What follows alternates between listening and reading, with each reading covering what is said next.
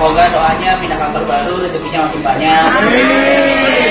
Semoga lancar semuanya kantor baru, rezeki baru. Amin.